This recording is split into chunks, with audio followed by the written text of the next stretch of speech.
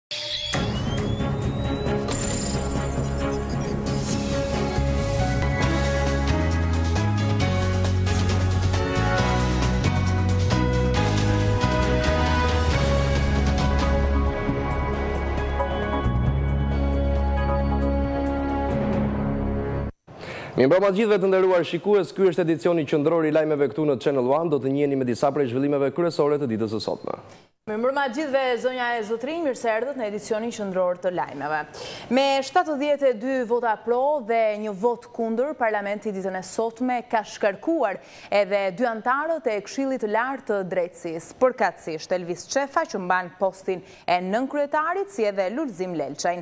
Vendimi është marrë pas përfundimit të hetimeve nga komisioni i posaçëm parlamentar hetimor, Ata akuzohen për shkelje në emërimin e gjyqtarëve, ndërkohë nuk ka nguruar dhe i menjëhershëm në fakt ka qenë edhe reagimi i Partisë Demokratike, duke e cilësuar këtë veprim si një kapje të sistemit të drejtësisë.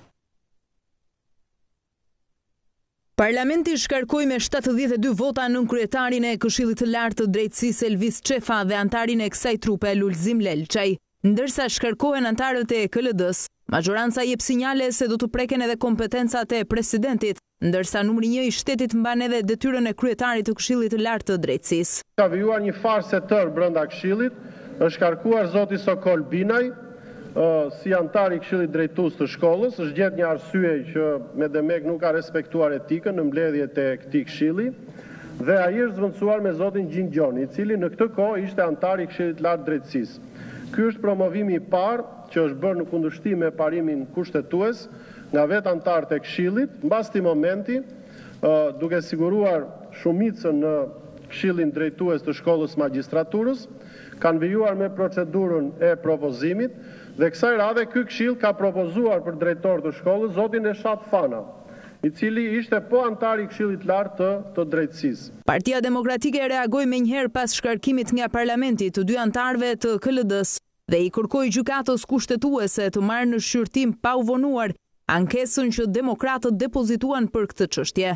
Krimi i organizuar në Parlament sot kërkon të marrë në kontroll drejtësinë, të çojë aty njerëzit e tij që përçojnë frymën e krimit, Krimi i organizuar që votoi sot për shkarkimin e Çefës dhe Lelçajt kërkon përfaqësuesit e tij në Këshillin e Lartë të Drejtësisë. Kush ka patur dyshim për këtë të lexojë dosjet kilometrike të interceptimeve tuaja me krimin e organizuar dhe korrupsionin që mbrohet sot nga qeveria dhe që kërkon të ngrejë dhe koracën e mosndëshkimit nga sistemi i drejtësisë. Shkarkimet në Këshillin e Lartë të Drejtësisë janë lëvizjet e para të mazhorancës në platformën për pushtetin gjyqësor që pritet të shkaktojë një përplasje të re qeveri-opozitë për respektimin e pavarësisë së pushteteve. Po ditën e sotme, mazhoranca qeverisëse ka dhënë edhe sinjalin e saj të parë për të rikthyer në parlament opozitën e cila prej kohësh ka bojkotuar seancat plenare. Kreu i grupit parlamentar i Partisë Socialiste, Gramoz Ruçi, kërkoi që të respektohen kushtet e opozitës sa i përket ndryshimit të rregullores së parlamentit, por edhe ngritjen e komisioneve hetimore për tatimet dhe administratën. I njëjti qëndrim ka qenë edhe i kreut të ekzekutivit, Edi Rama, i cili nuk nguroi t'i kujtonte Partisë Demokratike dhe sjelljen e kësaj të fundit kur ishte në pushtet që mbante me Partinë Socialiste. Politika në Tiranë duket të jetë e përfshirë në një tjetër aksion, kësaj radhe në përpjekje për të kthyer opozitën në parlament. Kryeministri Edi Rama rikonfirmoi deklaratat për të votuar në parlament Komisionet hetimore të kërkuara nga opozita.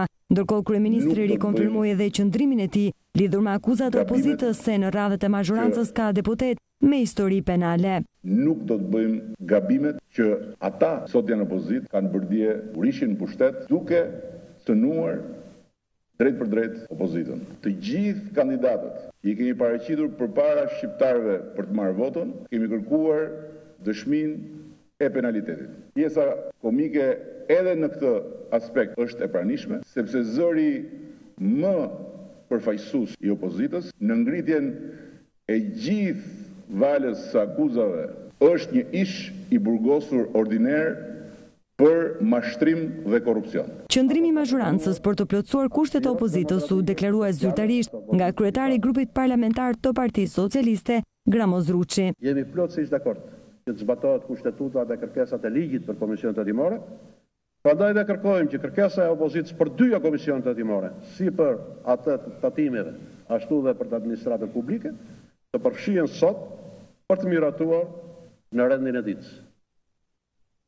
dhe për t'u miratuar ngritja e komisioneve hetimore. Kështu që alibia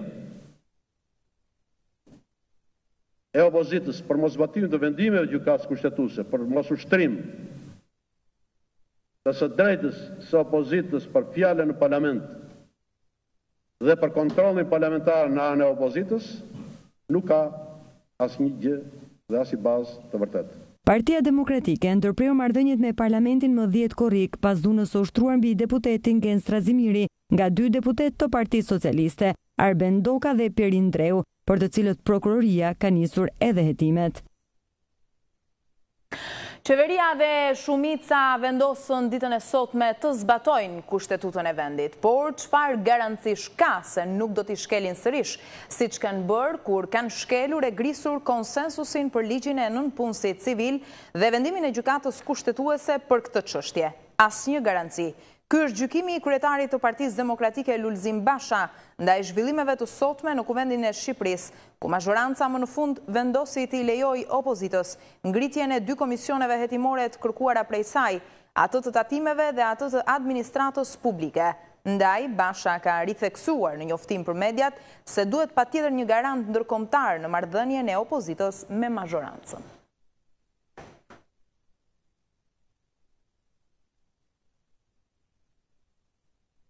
Duke u ndalur në përplasjet në distancë mes mazhorancës dhe opozitës, kjo e fundit ka listuar edhe një herë sot akuzat ndaj mazhorancës për lidhje të saj me krimin. Ka qenë sërisht ish-ministri, ish-zëvendës ministri i Brendshëm, Arben Ristani, i cili ka prezantuar disa nga detajet e përfshirjes nga një deputet i Partisë Socialiste, sipas tij në mbrojtje të krimit. Edi Rama është vënë në mbrojtje të organizatorit të trafikut të drogës nga zona e Vilunit drejt Italisë.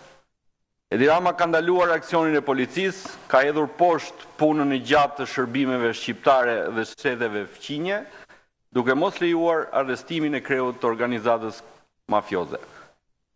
Është Edi Rama sepse ky imunitet që ka krimi sot buron nga kryeministri që ka ngritur sistemin e personave të paprekshëm, që i ka dhënë pushtet mbi ligjin disa deputetëve të tij, të cilët në të vërtetë drejtojnë trafikun e paligjshëm.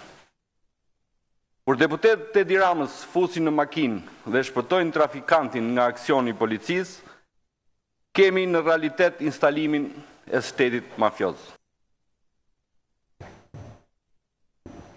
Shohim të tjera zhvillime të rëndësishme të ditës së sotme. Shefi i diplomacisë shqiptare Ditmir Bushati nga Beogradi ka rikonfirmuar edhe njëherë qëndrimin e Tiranës zyrtare lidhur me incidentin e 14 tetorit Në Beograd, gjatë ndeshjes Serbi-Shqipëri e që pasoi më pas me tensione politike mes dy vendeve tona, gjatë ministerialit për Ballkanin Perëndimor, gazetarët serbë kanë lëshuar një lumë pyetjesh ndaj Bushatit, pyetje këto, të drejtuara herë pas here edhe me tendencë. Edhe pse ndodhej në qendër të Beogradit, diplomacia shqiptare nuk ka nguruar të shprehë opinionin e drejtë për incidentin e ndodhur në ndeshjen Serbi-Shqipëri, e që pasoi me një tension politik mes dy vendeve. Gjatë pjesëmarrjes në Konferencën Rajonale të Ballkanit Perëndimor, ministri i Jashtëm Ditmir Bushati nuk i shpëtoi pyetjeve thumbuese të gazetarëve serbë. Bushati u pyet fillimisht nëse ka rrezik vizita e kryeministrit Edi Rama më dhjetë nëntor në Serbi, ku në axhendë është parashikuar edhe një takim me shqiptarët e Luginës së Preshevës. Kjo është një praktikë normale. Kryeministri i Shqipërisë ka vizituar më parë Preshevën, unë e kam vizituar Preshevën. Habitem nga pyetja juaj për axhendën e kryeministrit, edhe pse kjo pyetje ende vazhdon të jetë në vëmendjen tuaj. Nuk ka për të ndodhur asnjë gjë në këtë vizitë, sepse ne jemi vend i NATO-s dhe vend kandidat i Bashkimit Europian. Gazetarët serbë e ngacmuan ministrin e Jashtëm shqiptar lidhur edhe me ndeshjen teksa Bushati rikonfirmoi qëndrimin e Tiranës zyrtare për këtë çështje. Nëse e marrim të mirëqenë siç thoni ju, një provokim, në fakt ne i kemi kërkuar autoriteteve serbe që të marrin të gjitha masat për të zhvilluar një ndeshje normale mes Shqipërisë dhe Serbisë. Kur flas për masat, dua të kujtoj ndalimin e fyerjeve antishqiptare, dhunën në stadium, apo provokimet para dhe gjatë ndeshjes. Duhet të vendosim një vijë të kuqe mes huliganizmit në sport dhe shteti i së drejtës nuk mund të drejtohet nga huliganizmi apo një ndeshje futbolli. Shqipëria e madhe u duk se ishte makth jo vetëm për politikanë serbë, por edhe për gazetarët e këtij vendi.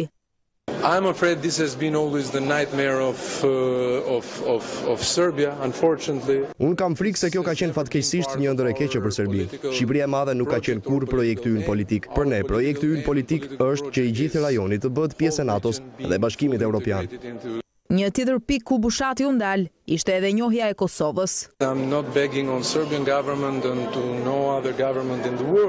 Unë nuk po detyroj qeverinë e Beogradit për të njohur ndonjë qeveri tjetër në botë, por unë po ju ftoj, ju dhe opinionin publik në Serbi që të lexojnë me kujdes progresraportin e Komisionit Europian, ku flitet për politikën e jashtme të Shqipërisë dhe atë të Serbisë. Në konferencën rajonale në Beograd mori pjesë edhe Kosova, Shqipëria në këtë takim u përfaqësua nga ministri i Jashtëm Ditmir Bushati dhe ministri i Ekonomisë Arben Ahmetaj. Hapësira në vijim do t'i kushtohet një zhvillimi nga rajoni, një tjetër takim lamtumire ishte ai mes kryeministrit aktual të Kosovës, Hashim Thaçi dhe shefes për siguri dhe diplomaci, Catherine Ashton. Dy politikanët ndanë kënaqësinë për arritjet me bisedimet mes Kosovës dhe Serbisë, megjithatë parë në syrin e analizës, Ky takim u konsiderua si më i ftohti sesa takimi me ministrin e Jashtëm serb, Ivica Daçiç dhe baroneshës në largim Catherine Ashton. Kryeministri në detyrë i Kosovës, Hashim Thaçi ka shkuar në Bruksel për t'i thënë lamtumirë përfaqësueses së lartë të politikës së jashtme dhe sigurisë në Bashkimin Europian, Catherine Ashton, e cila e le këtë post në datën një nëntor. Gjatë fjalës së saj, Ashton, përveçse i ka kërkuar dy palëve për të rritur dialogun dhe për të gjetur një zgjidhje, I ka uruar Kosovës të bëhet pjesë e Bashkimit Europian. E di që kjo është një kohë shumë sfiduese për Kosovën. Me punën që është bërë në këtë qeveri, ne po shohim interesat dhe shpresojmë që ky hap të procedohet më së miri. Ne shpresojmë që dialogu të vazhdojë dhe të fillojë sa më shpejt jetë e mundur. Shumë është bërë, por jam ndër të parat që them se ka akoma më shumë punë për t'u bërë. Dua të uroj gjithë popullin e Kosovës Dhe gjithë ju që ju kam njohur gjatë kësaj periudhe, një sukses të madh në të ardhmen dhe shpresoj që dialogu të rritet, derisa çështja të gjejë një zgjidhje për paqen dhe sigurinë e njerëzve, dhe sigurisht që njerëzit e kësaj zone të bëhen pjesë e Bashkimit Europian. Nga ana tjetër, kryeministri i Kosovës, Hashim Thaçi ka premtuar se Kosova do të vazhdojë procesin e dialogut me Serbinë, pavarësisht se nuk ka qenë e thjeshtë që t'i shtrëngojë dorën homologut të tij serb, Ivica Daçiç. Nuk ka qenë e lehtë për t'u takuar me kryeministrin e Serbisë, Daçiç, për të inicuar këtë dialog pas njëqind-vjeçari të problemeve dhe konflikteve mes Kosovës dhe Serbisë. Baronesha Eshton e bëri atë që të tjerët nuk arritën ta bënin, të na ulë, të diskutojmë dhe të arritim marrëveshjet historike të paqes mes Kosovës dhe Serbisë. Parë nga një këndvështrim gazetaresk, takimi Thaçi-Eshton ka qenë më i ftohtë sesa takimi i dy ditëve më parë Daçiç-Eshton, në të cilin nuk munguan as dhuratat e përqafimet, pavarësisht përpjekjes së kryeministrit kosovar për të ngrohur situatën me një selfi. E ndërsa të gjithë ditën e sotme prisnin edhe vendimin e UEFA-s lidhur me Atë që ndodhi gjatë ndeshjes mes Serbisë dhe Shqipërisë në katërmbëdhjetë tetor në stadiumin Partizan në Beograd të Serbisë, UEFA vendos të shtyjë vendimin për ndeshjen ndërmjet këtyre dy vendeve me pretendimin se i duhet më shumë kohë për të shqyrtuar provat. E në fakt vetë Federata Shqiptare e Futbollit ka listuar edhe dymbëdhjetë pretendime sipas të cilës Kombëtarja jonë e Futbollit nuk mund të vazhdonte ndeshjen në kushte të tilla kur u dhunua pothuajse të gjithë lojtarët e kombëtares.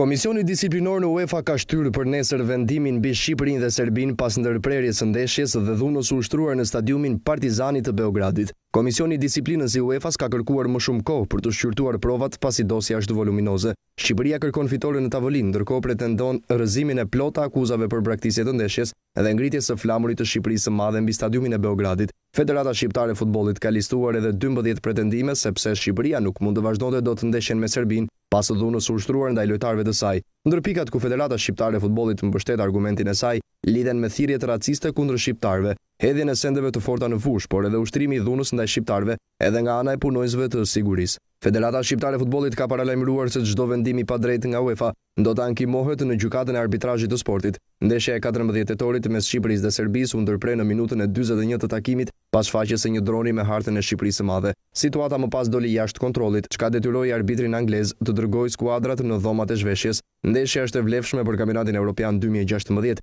që do të luhet në Francë. Ecim me të tjera zhvillime. Inspektoriati Ndërtimor Urbanistik Kombëtar ka vijuar me prishjen e ndërtimeve pa leje në kryeqytet, ndërkohë Partia Demokratike vijon të akuzojë këtë institucion për prishje selektive.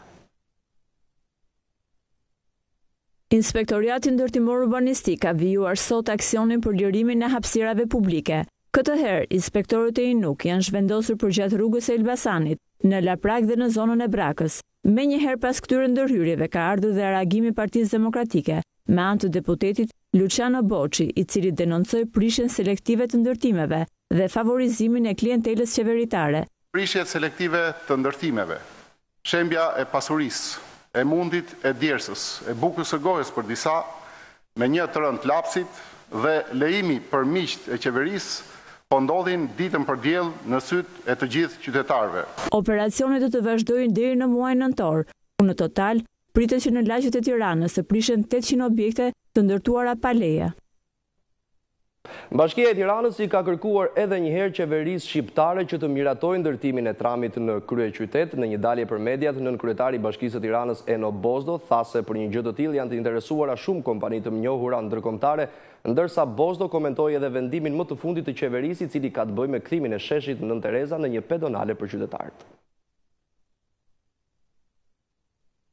Bashkia e Tiranës i bën thirrje qeverisë që të japë miratimin për ndërtimin e tramit të linjës Kombinat Kinostudio. Nënkryetari i bashkisë më të madhe në vend, Eno Bozdo, tha se për ndërtimin e kësaj linje të re transporti kanë shprehur interes disa kompani prestigjioze ndërkombëtare. Qeverisë qendrore nuk i kërkohet absolutisht asgjë. Çfarë i kërkohet është vetëm të japi dakordësinë e saj që Bashkia e Tiranës të procedojë me këto dy Projekte shumë të rëndësishme do të thoja unë për kryeqytetin, për sot, nesër dhe për dekadat që vijnë. Duke parë interesin e këtyre kompanive, ndoshta emrat më të njohur në botë, të infrastrukturës përkatëse, shfrytëzoj këtë çast t'i bëj thirrje edhe një herë kryeministrit që projektet për interes të Tiranës, veçanërisht këto dy projekte transporti, në asnjë mënyrë nuk duhet të stopohen në emër të luftës politike. I pyetur për vendimin e qeverisë në lidhje me kufizimin e parkimit në dy anët e bulevardit Dëshmorët e Kombit, Bozdo tha se më parë duhet të sigurohen vendparkime të reja për të ndaluar qëndrimin e makinave përgjatë bulevardit. Urdhri i Qeverisë dje parashikonte dhe ndalesën e parkimit në bulevardin qendror të Tiranës. Me një të rënë të lapsit, praktikisht qytetarëve të Tiranës i mohohet kilometra të tërë parkim. Ndërsa ndalohet parkimi në një vend në Tiranë, duhet patjetër që të gjendet një opsion tjetër për parkimin, që edhe pa këtë ndërhyrje të qeverisë është i rënduar. Sipas numrit dy të Bashkisë së Tiranës, ndërtimi i tramit do të çlironte rrugët e kryeqytetit nga trafiku. Rritja me njëqind e njëzet lekë për litër e karburantit, e cila pritet të gjejë zbatim në vitin dy mijë e pesëmbëdhjetë, është denoncuar nga Partia Demokratike si një tjetër barrë që rëndon në xhepat e qytetarëve shqiptarë. Deputeti i kësaj force politike Florion Mima deklaron se rritja e çmimit që po bën qeveria e vendit tregon paaftësinë e saj për të mbledhur taksa të cilat janë të vështira që të administrohen. Pas lajmit të keq të djeshëm, për rritjen e çmimit të energjisë elektrike nëpërmjet heqjes së fashës mbrojtëse prej 300 kilowatt orë, sot një tjetër lajm i keq ka mbërritur. Ai për rritjen e taksës qarkullimit me 120 lekë të vjetra për litër karburant nga 1 janari 2015.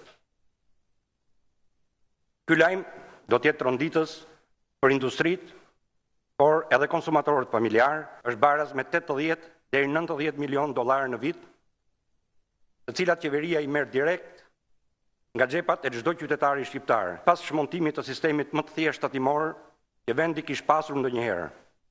Qeveria nuk ka ndërmend të ngrejë një sistem tatimor të aftë për të vjel ato tatime e taksa që janë të vështira për t'u administruar, Në një raport të publikuar së fundmi, Instituti i Statistikave ka vërejtur një fenomen shqetësues sa i përket familjes shqiptare, të cilën e ka konsideruar se është futur në një krizë të thellë sa i përket edhe divorceve, ku sipas studimit evidentohet se në njëqind martesa, gjashtëmbëdhjetë prej tyre përfundojnë të ndara.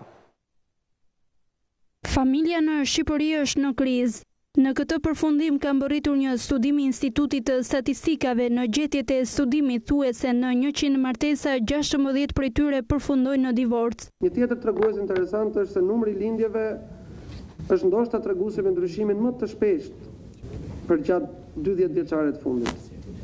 Treguesi i numrit të fëmijëve në raport me gratë në moshë riprodhuese, Ka pësuar rënie nga tre fëmijë për nënë në vitin një mijë e nëntëqind e nëntëdhjetë, në një pikë pesëdhjetë e te, një pikë pesëdhjetë e tetë fëmijë për nënë në vitin dy mijë e tetë dhe ka pësuar një rritje të ngadaltë përgjatë viteve të fundit, duke shënuar aktualisht normën e një pikë shtatëdhjetë e gjashtë fëmijë për nënë në moshë riprodhuese.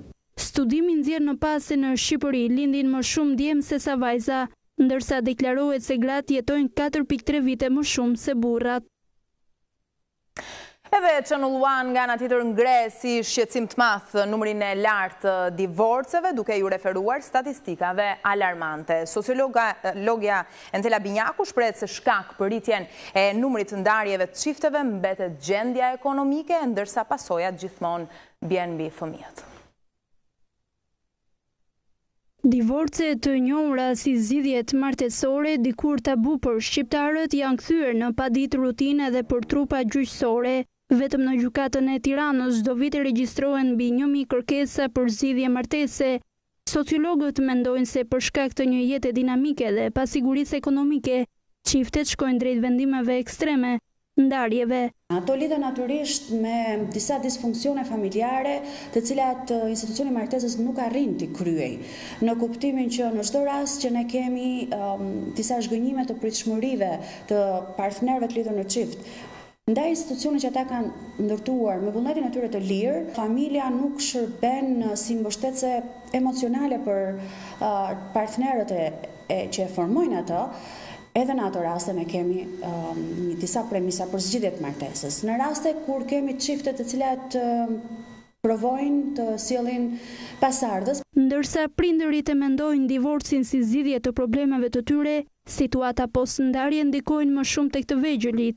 fëmijët. Por me kalimin e kohës fëmijës i duhet thënë në mënyrë graduale, me shumë përgjegjësi, e cila kërkon një maturi shumë të thellë dhe që mund të njoftohet nga pjesëtarët që kujdesen për të. Mund të jetë nëna, mund të jenë gjyshrit, mund të jenë mund të jetë babai, pra Gjithkush që ndodhet pranë tij.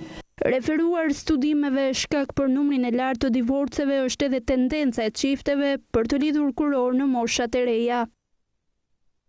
Dhe në përfundim do të vijë një zhvillim nga kultura, hapet pas pesë vitesh rikonstruksion muzeu i piktorit më të madh i të gjitha kohërave, Picasso. Muzeu i ri përfshin pesë mijë punime të Picassos, ndërkohë që pritet të vizitohet nga një milion turistë në vit. Muzeu i famshëm i Picassos në Paris është duke u përgatitur të rihapet për publikun këtë javë, pas rekonstruksionit që zgjati plot pesë vite. Data për rihapjen e shumëpritur më në fund është caktuar njëzet e pesë tetori i cili gjithashtu shënon ditëlindjen e artistit, i cili ka lindur në vitin një mijë e tetëqind e tetëdhjetë e një në Malaga të Spanjës, por kaloi shumicën e jetës së tij në Francë, para vdekjes së tij në një mijë e nëntëqind e shtatëdhjetë e tre. Hapja e muzeut, një koleksion prej mbi pesë mijë piktura, skulptura dhe printime, si dhe arkivat personale të Picassos, do të shënojnë fundin e mbylljes për kulturën pariziene. Anne Baldassari, presidentja e muzeut për nëntë vjet, shpjegoi gjatë një dalje për media se edhe ekspertët kanë shumë për të mësuar rreth veprave të Picassos. Unë mendoj se ne do të mësojmë shumë nga Picasso. Kam studiuar punën e artistit për mbi njëzet e pesë vjet dhe kam mësuar aty çdo ditë. Unë dua të ndaj këtë përvojë me të gjithë. Rikonstruksioni i muzeut kushton rreth pesëdhjetë e dy milionë euro. Është trefishuar hapësira e ekspozitës dhe është projektuar për pesë kate, duke e bërë muzeun me hapësirë për të pritur një milion turistët në vit. Dhe me këtë zhvillim nga kultura ne kemi mbërritur kështu në fund edicionit qendror të lajmeve. Por sigurisht të tjera informacione në kohë reale nga vendi, rajoni e bota, si edhe detaje mbi programet tona na vizitoni në channel-one.al.